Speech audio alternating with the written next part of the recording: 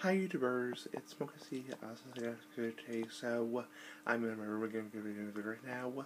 This is going to be my new series I'll be doing, so welcome to my new series I'll be doing.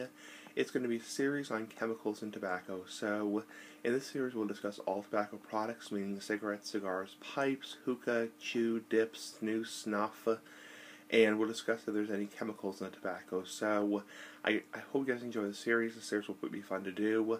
I'm really looking forward to it. And yeah, so we're going to discuss the chemicals in tobacco. Do cigarettes have chemicals? Do cigars have chemicals? Do pipe tobacco have chemicals? And it'll be a fun series to do. Anyway, bye.